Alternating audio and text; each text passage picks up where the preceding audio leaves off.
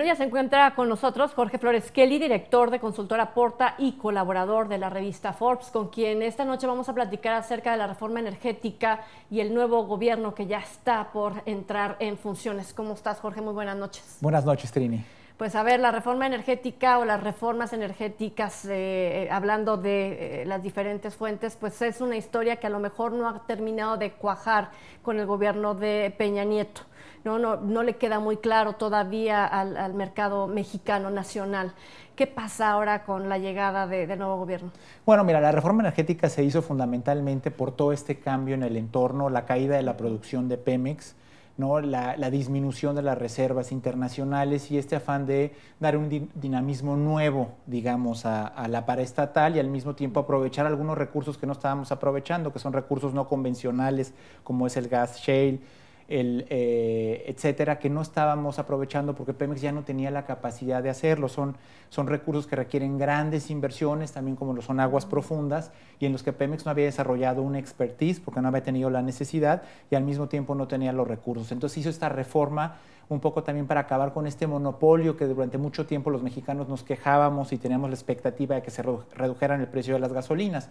Y lo que estamos viendo es que, eh, digamos, en la parte de esta de esta eh, eh, producción y exploración de petróleo, pues sí empieza a haber, digamos, un repunte derivado de la reforma energética, por lo menos en la prospección y en lo que se ha encontrado hasta, hasta la fecha. Pero digamos que en la parte de combustibles ha sido bastante más lenta de lo que habíamos anticipado. O sea, en realidad eh, todavía no vemos como consumidores los beneficios de no tener el monopolio. De repente vemos nuevos competidores en el tema de las gasolinas, pero queremos que baje el precio de la gasolina y lo que hemos visto es que ha subido. Un poco para liberalizar, para hacer que al quitar el subsidio al precio de las gasolinas, pues entonces vengan inversionistas, quieran competir y bajen el precio justamente de él vía un mejor transporte y un mejor almacenamiento.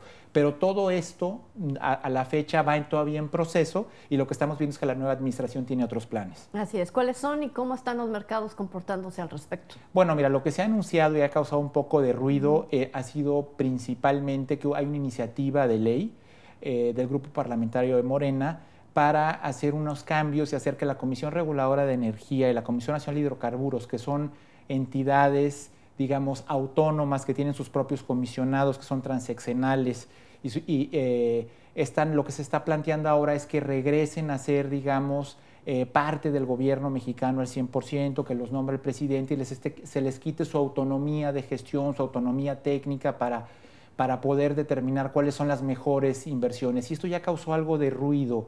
¿Por qué? Porque ya hubo un cambio, eh, la calificadora Moody's hizo un cambio en la perspectiva de Pemex de una perspectiva, digamos, estable a una perspectiva negativa. ¿Por qué? Porque de repente pareciera que se va, a haber un cambio en todas estas prioridades y esto mete muchísimo, muchísimo ruido. Entonces también el futuro de Pemex pareciera que se le quiere dar un papel mucho más un papel que era consistente con lo que hace unas décadas hacía Pemex, que era el único, que era el monopolio por completo de la producción y de la exploración en México, y pareciera que nos estamos regresando allá, y eso está metiendo bastante ruido.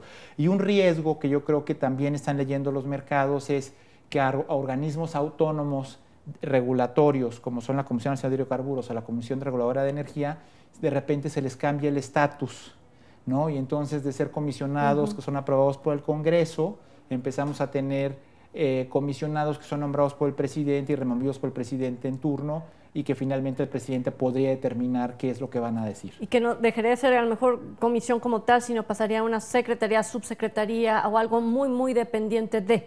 Exactamente, esa es la gran preocupación que yo creo que entre líneas están leyendo los mercados. Porque entra ahí cuestión de evaluaciones, como tú eh, eh, mencionas, una cuestión también de presupuestos, eh, el hecho de depender completamente del gobierno, a ser independientes, tiene que ver con la forma en cómo llegan precisamente los recursos para continuar con las investigaciones. Así es. Estoy en lo correcto y esto podría vulnerar precisamente el ejercicio de cada una de las dependencias. Exacto, lo has expresado muy bien. Yo creo que es esto y una gran preocupación de que ya no tengamos criterios estrictamente técnicos, sino que tengamos criterios que pudieran tener un componente político, un componente de juicio, de apreciación, que no necesariamente sea técnica. Creo que la reforma que hemos hecho es fundamental para la competitividad de México en el comercio internacional. Somos un país que necesitamos ser competitivo en energía, tener costos competitivos en energía si queremos ser un campeón de las manufacturas, como es algo que hemos venido diciendo y algo que hemos venido haciendo en los últimos años. Y, déjame preguntarte, ¿tiene el eh, gobierno federal la capacidad, eh, hablando de recursos económicos, para absorber el funcionamiento de la forma en como lo quiere hacer?